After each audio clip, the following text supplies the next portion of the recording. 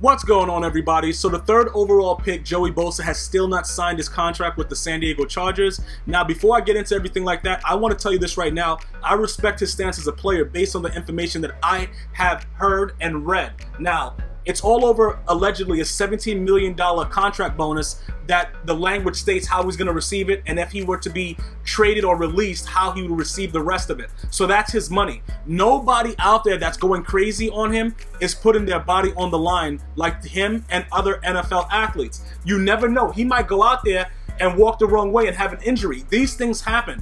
He's a little bit more financially stable, so he's able to hold out longer, so he looks a little bit more greedy. But this is what you play the game for. I understand that people understand, uh, you know, they say you play the game for the love of the game. Everybody that has played for the love of the game uh, after a certain point has received a lot of money for it. Okay, it's not like people just go out there like you know for the love of the game. I don't need a house. I don't need a car. I don't need. I don't need a roof over my you know for my family. Listen, it's about money.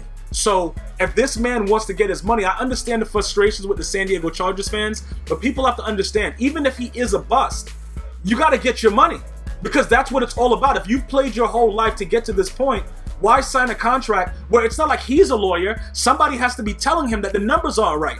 You people are so stupid. They, oh, bro, he's he's he's greedy. What? Listen, you hire lawyers to look over contracts from NFL teams to see if it's suitable. If they don't like the language or something, they're not going to let their athlete sign the contract. So it's not on Joey Bosa, it's him having the backing of a financial stability and a team that knows what's going on. And if the Chargers are meddling about this ridiculousness, it, it, it only creates more BS. And then his mom is saying things like, you know, you know, they wish she wished that they pulled the Eli Manning. Look at what happened with Eli Manning. Okay, the Chargers got Philip Rivers and some draft picks. Eli Manning has two Super Bowls with the Giants. So it worked out pretty well for Eli Manning. So but there's no teams that are you know that has the rookie money that's available right now to trade for Joey Bosa. Else I do believe they would have made a trade. Because I don't know how you fix this. When when you start disputes like this over money and it's being dragged on this long, it's oh, like what is it, like the seventh uh, training day practice, he's not gonna make his uh, preseason game. Things like this are ridiculous, but people have to really understand something the NFL, even with all the new rules and everything like that, it's a violent sport where the owners make ridiculous money. And they treat the players like they don't mean anything, but that's what we tune in for. We don't tune in to see Jim Irsay high on freaking pills, at, you know, at Indianapolis Colts Stadium. We want to see the players. We, you know what I'm saying? So people have to understand.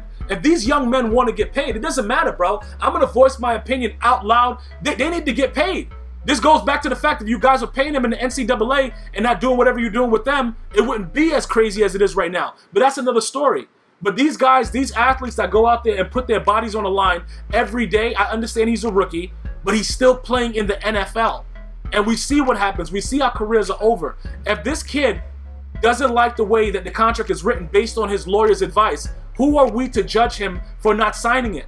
Because after he signs it and he's F, what happens after that? Antonio Brown, the best wide receiver in the league. What is he like? What is he even getting paid right now? You see what I'm saying? Because he wanted to play for the love of the game. Who? Listen, I understand the love of the game, but money is involved with all these guys that say that. Trust me when I tell you. Okay, that's the way it is. Money has to correspond with what the damn production is. And I know it doesn't actually fit the criteria right here because he's a rookie, but people need to understand that anything can happen to this young man. You're not paying his damn bills. It doesn't really matter. The Chargers are not losing anything by making sure that they reword the contract the way it should be about his bonus and that it doesn't, you know, linger on if he's released or traded. That's the issue here. And they always try to manipulate the thing, make the player look greedy. But guess what? When the player's taken off on the stretcher and the team is like, you know what, we don't need you no more, where's everybody else at that point? It doesn't really matter. Let him do what he has to do. Hopefully they work it out. The Chargers are not really, you know, relevant right now anyway. So the only person that, you know what I'm saying? Like, listen, you got Philip Rivers. The guy has been making moves with nothing for a very, very long time. You get Keenan Allen. I think he's a stud. Gates is taking steroids during the season. He came back late. It, the whole thing is crazy. They had Vincent Jackson. They let him go. This is an organization that doesn't want to pay. This is an organization that has a general manager that doesn't give a F. Why are you blaming the players? You see what I'm saying? The fish stinks from the head down, bro. Something is going on where players are just not agreeing with the things that are happening.